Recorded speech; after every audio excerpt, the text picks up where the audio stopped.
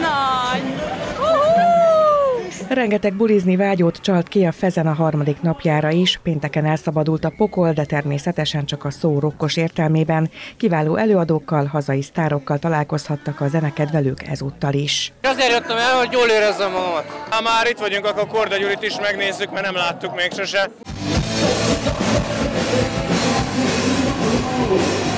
A Fezen mindig különös színfoltja a fehérvári zenei rendezvényeknek. A pénteki napon fellépett egyebek mellett a Joysticks is.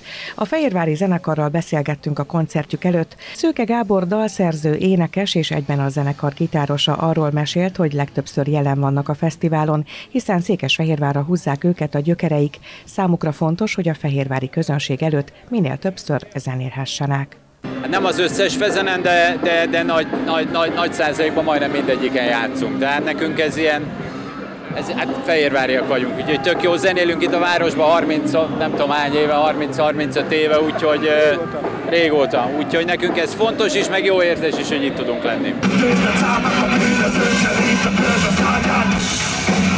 Ezután depresszióba estünk, persze nem a szó valódi értelmében, sőt, legnagyobb örömünkre kicsit közelebbről is megismerkedhettünk a zenekarral. Mi szeretünk valamilyen féle zenét, ezt szeretjük együtt játszani, és a, a mi ízlésünk találkozik a közönség ízlésével. Szerintem, meg, meg én azt gondolom, hogy ennyi idő után is a zenekar meg tudta őrizni a hitelességét. Tehát, hogy, hogy igen, mi 42 éves fejjel is szeretünk színpadra menni és zenélni, és én azt gondolom, hogy ez le is jön rólunk. A kiváló fellépők és hazai sztárok sorát erősítette még pénteken a Tobak és a Valmar is.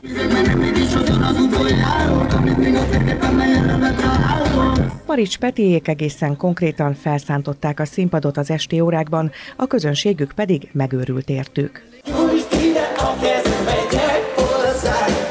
Szombaton is érdemes volt a Fezenre kilátogatni, este Horváth Tamás kezdte meg a koncertek sorát. Nekem ez az első Horváth Tamás koncertem, és Budapestről utaztam le csak azért, hogy őt, a scootert lássam, ők a fők, fő előadó, akiket szeretnék megnézni. Ezen kívül még a metal részlegre is el fogok nézni, de Horváth Tamás az mindenképp fontos volt.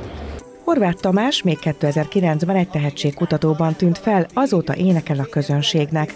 A Fezenen régebbi és mostani dalaival szórakoztatta a zenéjét szeretőket. Azt mondják, hogy nyitni egy nagy színpadot nem túl hálás feladat. Hát szerintem nagyon hálás, szerintem ez zseniális.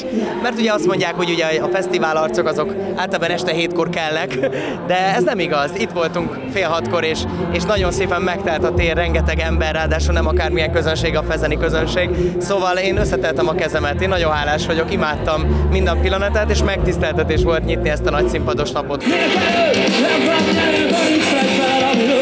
Szombaton kezdésnek a Fehérvár nagyszínpadon a Junkies lépett fel a metal zene szerelmesei előtt. Voltak, akik igyekeztek az első sorba kerülni. A 93-ot álló Junkiesra, 90-ben alakult hivatalosan, de a baráti kör 93-ban a Viking Club engem elvitt oda, és azóta rendszeresen a koncertjeikre.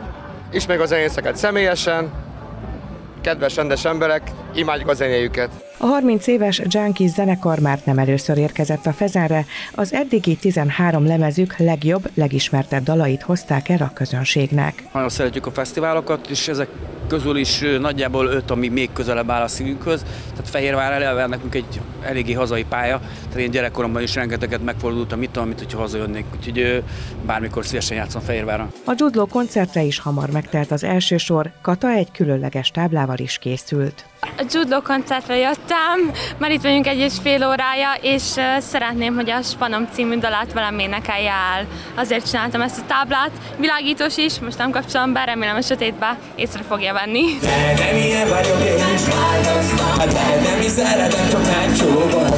A szervezők tájékoztatása szerint a Fezen legerősebb napja a szombati volt, estére az összes jegy elfogyott. Sokakat megmozgatott, többek között Majka és Scooter a zárónapon.